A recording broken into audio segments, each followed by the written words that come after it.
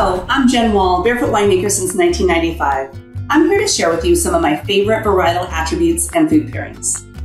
Cabernet Sauvignon is the number one most popular red wine varietal enjoyed in the United States. It's a dry red wine with a velvety texture and has aromas of black cherries, blackberries, and notes of brown spice, vanilla, and a smooth finish. Cabernet Sauvignon pairs perfectly with most meats, such as steak, hamburgers, and meatballs. It's also delicious with pizza, red sauce pastas, and cheeses. I hope you enjoy this wine as much as I do. Cheers.